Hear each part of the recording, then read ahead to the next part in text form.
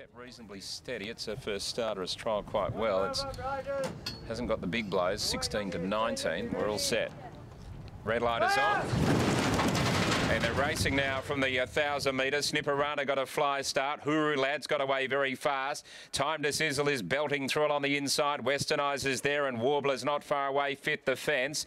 Then came Not My Fight going up in the middle. Snipperana's out wide with Chatter Session. And well back in the field is Miss Vettel. Then came Tango Nita who's on the inside. Miss Vettel got very fierce there. Around the outside, Fritte from Santander. And Trade Master is last of all. Huru Lad's just in front. Snipperana's wide. In the centre is Western Eyes, is just behind them. Western Eyes in the centre. Going up out three wide on the track is Chatter Session. Not my fight just off them. Time to Sizzle travels okay. It's about to get a split through now. Huru Lads has got the lead. Time to Sizzle's getting off its heels now. And then came Chatter Session, Snipperana and Santander from Not My Fight. On the outside, Time to Sizzle after Huru Lads. Huru Lads just in front. Time to Sizzle won't get there. Huru Lads hanging on for Harvey and Huru Lads has won from Time time to sizzle. Third chatter session, fourth Western Eyes. Then Not My Fight. They are followed by Warbler. And further back in the field it was uh, Trade Master out wide. Just ahead of it was Tango Nita pulling up. And then came Fritto. Snipperana ended up weakening right out of the race. And it was one of the last ones home. Santander was about third or fourth last. Number eight is the winner. Huru Lads, $38 and $7. Time to sizzle. Tried very hard. And Chatter Session back in third place. But Harvey was very keen to find the front here on Huru Lads.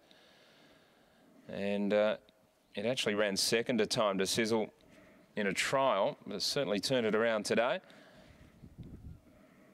And a strong trial form coming through there. Chatter Session was a good run. It was always out a little bit wider and battled on well. And Western Eyes was close up, but Huru Lads has done the job here. Out in front for Jason Pateman, owned by S.J. Roberts, S.R. Smith and E.C. Smith. And uh, that's its first start today, and it's run the time of 59.66. It's 8, 14, 10 and 1, three quarters by one and three quarters with the margins on the second race. Let's go downstairs and uh, have a chat with the connections of Huru Lads. Yeah, Huru Lads leads all of the way. That was an impressive debut effort. Yeah, very good. At home, he's shown plenty. It's amazing Mitch didn't say something to you on the radio this morning. He worked in one of his first gallops. He goes, geez, he goes all right. I say, well, he should. He's a half to Mr. Motown, so he goes okay. And yeah, he, he was always going to improve on that trial. I was quietly confident, and price is a bit crazy when uh, Martin's horse was favourite, or one of the favourites, and he only got beaten a length and a half by it, and he did a few things wrong if you had a good look at the trial. So it was really pleasing to. Was that the plan today? Show speed and lead and dictate the race? Oh, I left it all up to Paul. Um, he's been around enough. He's a pretty good rider. Um, I just said, oh, he should be in the first half a dozen. I don't think he'll be leading, but he seemed to get there pretty easy. There's a little bit of a scare in the yard as well. Yeah, I'm glad he ended up getting on, not saying, oh, bugger that, I'm not getting on. yeah, he, I think it was part of my fault. I was in the road. He couldn't see him when he went to get legged on, and all of a sudden there's this person up on his back, first time at the races. He, uh, he'll improve. he, will get better as well. Yeah, I think he will. Uh, give him a break soon, and yeah, hopefully come back during some of the good races. Job well done. Thanks a lot, Gary. There's Jason Pateman there. Does a really good job with his small team, Brittany, and um, he gets the job done at what 30 odd dollars. Huru lads. Uh, the son of scandal keeper P. Harvey in the saddle, who's starting to kick home a few winners now. He is, and Jason made a really good point there. The horse was only beaten about one and a half lengths uh, in that trial with Time to Sizzle. Well, Time to Sizzle started a lot, lot shorter than uh, Huru Lads did, and uh, did do a few things wrong on that occasion as well in the trial. And to only have the one trial and then come here today, uh, I'm really impressed with just the professionalism that this horse showed, especially with a cutaway in play as well when a, a, relatively inexperienced horse has the rail to follow and then all of a sudden it sort of uh, diverts in. I thought the horse did a good job to stay on its line and you can also see its legs just go everywhere. I think there's a, a fair bit of improvement still to come with this horse which is exciting and obviously one that they've had a bit of an opinion of uh, given that early days uh, Mitch had said well it seems to go nice after a gallop. So Chatter Session was a good effort back in third third and second home in the race was the well-backed debutante and the, the $500 purchase that started favourite in the end.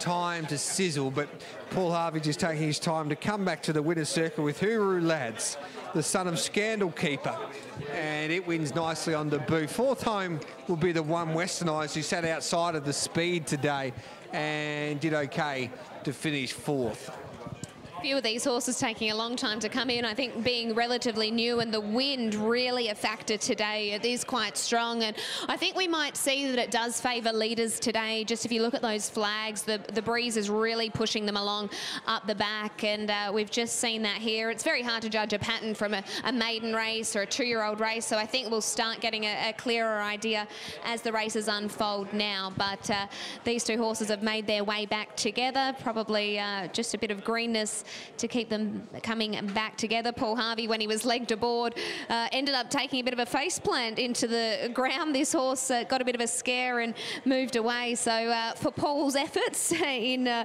getting on in the yard is rewarded him with a win. Okay, so Paul Harvey will take the saddle off and then catch up with Brittany Taylor after the performance of Huru Lads in race number two. The Western race pick made it over the 1,000 metres in race number two. So the two-year-olds doing battle there.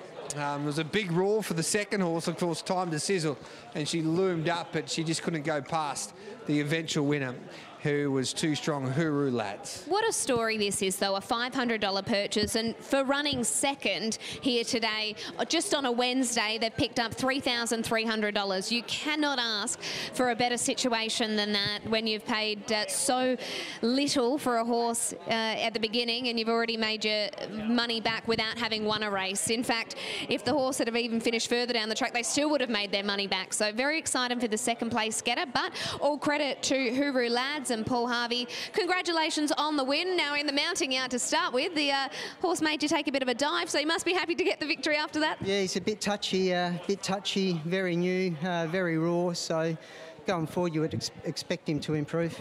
Out of the gates, he seemed really professional and just wanting to find the front. Yeah, well, I, I just jumped him posit positively, and he, he kind of took me there. Um, probably a little bit unexpected to be hitting the front, but um, yeah, he'd done a good job, bounced himself out, and uh, but once he got got there, he was rolling around a bit and a bit new. He'd only had the one trial leading into this, so very inexperienced. How did he go when the cutaway came and all of a sudden he's out on his own out there? Yeah, well, I was kind of looking for the rail even once we uh, straightened up. I didn't want to sort of stay off the rail. He needed a fair bit of guidance today. Congratulations on the win. Yeah, thank you. There is the Hall of Famer, the great Paul Harvey, catching up with Brittany Taylor. Huru lads defeats Time to Sizzle, Chatter Session and Western Eyes 8-14, 10 and 1 after race two at Belmont Park today.